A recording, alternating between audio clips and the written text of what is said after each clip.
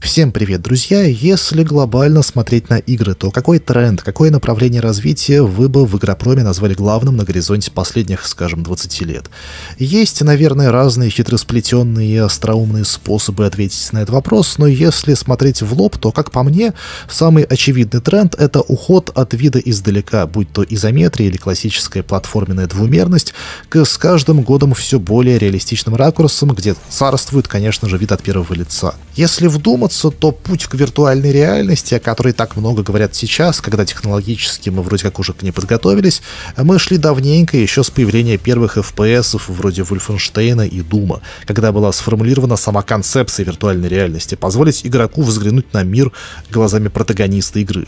Через этот путь об FPS прошли Duke Nukem, который, наверное, скорее все-таки уже умер, пресловутые Fallout, GTA и еще чертова туча игр, и сейчас на наших глазах проходит целый жанр под названием моба. Жанр относительно недавно появился, это уже 21 века веяния, и поэтому подключился он к этому процессу с опозданием. И хотя каноничные мобы — это именно изометрические игры, все эти ваши доты, жанр сейчас прощупывает себе путь к первому лицу. Приживется он в таком ракурсе, не приживется. И на вскидку можно назвать два ключевых проекта в этом тренде. Это Battleborn от создателей Borderlands, мы о Battleborn уже как-то на канале когда-то говорили, и Paragon, о котором не говорили до сих пор еще ни разу, но сейчас это исправим. При этом ни Battleborn, ни Paragon реальной популярности не добились. Оба проекта сделаны на славу, реально очень качественно, но на любителя с прицелом на довольно узкую аудиторию. Я даже не знаю, нарочно это так получилось у них или по ошибке. И если о Battleborn совсем уже почти ничего не слышно, он сдал позиции, наверное, не в последнюю очередь под натиском своего графического конкурента Overwatch, то Paragon борется со своим низким онлайном, проделывает работу над ошибками, и только совсем глухой сейчас не слышал о всех этих глобальных обновлениях в Парагоне, направленных на популяризацию этой игры, на то, чтобы сделать ее динамичнее и быстрее, потому что она довольно медленная была и этим многих отпугивала. Хотя и сейчас она, прям скажем, не быстрая. И да, справедливым замечанием было бы сказать, что из этих двух игр только Battleborn является моба-шутером от первого лица, а Paragon это все-таки от третьего лица игра. Но для меня тут важно было отметить уход от изометрии и приближение к кинематографичности. Paragon в этом плане занимает некую среднюю позицию между классикой жанра и тем же Battleborn. И раз уж я начал сравнивать эти две игры, давайте я последнюю вещь про них скажу и сосредоточимся после этого на Парагоне. Будучи именно от первого лица шутером, Battleborn предполагает, что скилловые игроки будут иметь хороший аим. aim. Грубо говоря, если вы круто играете в CS, то в Battleborn вам это поможет, будете попадать по противникам хорошо. А в Paragon вам пригодится все же именно из каноничных моб навыки игры. Здесь гораздо более классическая механика, она более привычная, хедшоты тут вешать не требуется. И теперь, что касается самого Парагона. Я с большим пиететом отношусь к Epic Games, разработавшим Парагон. Это, может, не такая громкая контора, как, скажем, Blizzard, но, во-первых, за счет своего движка Unreal Engine, оказавшая на индустрию не меньшее влияние, а во-вторых, они тоже выдают продукты исключительно топового качества. Правда, да, адресованы они обычно скучковавшейся группе ценителей, но массовость не означает качество, хочу заметить. Какое-то время назад мы с вами на этом канале обсуждали их новый Unreal Tournament, так это ж вообще воплощенный киберспорт — это настоящая хардкорная онлайн-арена с просто бесконечным простором для совершенствования техники. Популярна ли она? Нет. А набитие экспы на сезонные контейнеры в Overwatch популярно. Вот думайте, что хотите об этом. И примерно то же самое справедливо и для Парагона. Это очень качественная и с любовью к жанру сделанная моба, но совершенно лишенная тех крюков, тех хуков, которые обычно цепляют массового игрока. В первую очередь это связано с тем, что Парагон довольно, как я уже сказал, не динамичный. Это развлечение с весьма размеренным, осторожным геймплеем, где средний матч может длиться минут 40. Ну, 20, если матчмейкинг подведет, и одна команда просто сотрет другую в порошок мгновенно совершенно, то есть минут за 20. По сути, тут все как обычно, как в классической мобе, аннигилируем башню одну за другой, пока не добираемся до ядра и не взрываем его к чертовой матери. Кто первый взорвет, тот объявляется молодцом, а проигравшая команда делает себе харакири, чтобы смыть с себя позор поражения. Может быть в этом причина низкого онлайна, не знаю. Не делайте себе харакири, друзья, даже если проиграете, не стоит этого. не нужно. И отдельно хочется отметить, что игры Epic Games напрочь лишены какой-либо зазывающей сексуальности. Даже в несуразных модельках Battleborn можно было обнаружить попытку соблазнить мужскую аудиторию самым понятным ей способом, не говоря уже о задницах всяких там трейсер из Overwatch.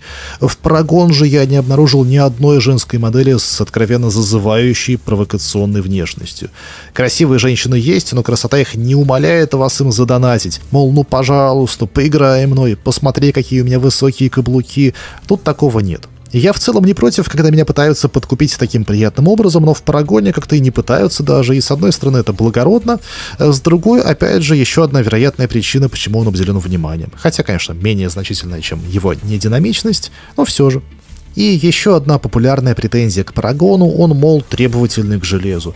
Я здесь э, ничего прокомментировать не могу, кроме того, что на моей уже далеко не новой видеокарте GTX 970 все идет отлично. Карта по нынешним временам совершенно средняя, поэтому согласиться с тем, что Парагон как-то не подъемен по железу, не могу.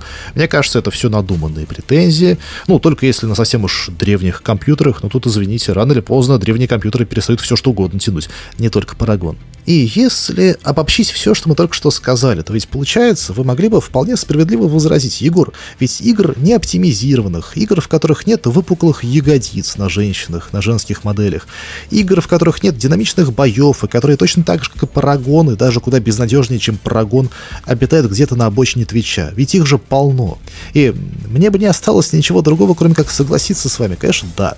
Но Парагон выделяется на общем фоне именно качеством. Я, конечно, не очень много времени провел в этой игре, но постарался как можно более критически на нее взглянуть и не могу предъявить ни одной серьезной претензии. Все, что в Парагоне может не понравиться, на мой взгляд, связано с особенностями жанра. Если вам не нравится Парагон, то, вероятно, вам не Парагон не нравится, а та ниша, которую он занял. Вдумчивая, с размеренным геймплеем, моба от третьего лица. И я думаю, что мы сейчас с вами вполне адекватно поставили диагноз пациенту. Он А. Необычен и Б. Не пытается понравиться игрокам. В Overwatch сейчас не играет только какой-нибудь идейный противник мультяшных шутеров, но Overwatch-то и рекламировали сколько. Одна только Сомбра со своими ребусами собрала хайпа больше, чем все игры Epic Games вместе взятые. Есть такая поговорка в английском языке. Скрипучее колесо получает смазку. Я грубо перевожу, так, наспех. А еще у меня была одна коллега, довольно посредственная дама среднего возраста, которая так много ныла, как ей тяжело, что все в какой-то момент начали думать, что она и вправду очень загруженный и очень ценный сотрудник. Ну, я думаю, вы поняли мою мысль. Парагон, если скрипит, то очень негромко. И в Парагоне нет ни одного слабого места, если принять жанр за данность и смириться с ним. Эта игра хорошо выполнена технически, графически, сделана мастерами игропрома, и с глубоким пониманием того, какой должна быть моба. Единственное, в чем Парагон все же можно упрекнуть, если уж совсем с жиру беситься, это как раз в том, что со всем своим качеством он, кроме красивого вида третьего лица, ничего принципиально нового в жанр-то и не добавил. Это довольно классическая моба, здесь не произошло какой-то идейной революции. Это все те же яйца, только крашеные на Пасху. И, тем не менее, весьма неплохие яйца-то. Собственно, структурное нововведение в Парагоне только одно. Разработчики попытались, надо думать, получить свои дивиденды от популярности ККИ, и в результате мы получили мобу, в которой можно коллекционировать карты и наделять силами карт своего персонажа. Если грубо, то карты — это бафы, и помимо тех умений, которые вы прокачиваете по мере матча, ваш билд теперь состоит еще и из тех карт, которые имеются у вас в коллекции. Ну, некоторых которые в слоты поместились вам в активные. И, похоже, именно продажа бустеров с картами, ну и скинов для героев еще, является главным источником дохода этой бесплатной игры, по аналогии с тем, как это устроено, скажем, в том же Hearthstone. Только в отличие от Hearthstone, карты здесь имеют второстепенное значение, и многие игроки, по крайней мере поначалу, вообще не запариваются на этот счет. И с учетом всего сказанного, какое будущее я вижу для этой игры? Если Парагон сохранит темп и темперамент, то это будет развлечение для чувствующих ценителей, коим сейчас является Unreal Tournament. Если же Epic Games хотят захватить внимание масс, то я бы сказал, что им нужно ускорить геймплей раза в 2-3. Только, правда, это будет уже не совсем Парагон, и мне интересно было бы узнать, готовы ли Epic Games, например, перекроить Парагон до неузнаваемости ради славы и денег, или им все-таки дорого их детище таким, какое оно есть, пусть даже не всеми понятое. Таковы мои мысли об этой игре. Что вы о ней думаете, друзья, напишите, пожалуйста, в комментариях. А я прощаюсь с вами. До скорых встреч.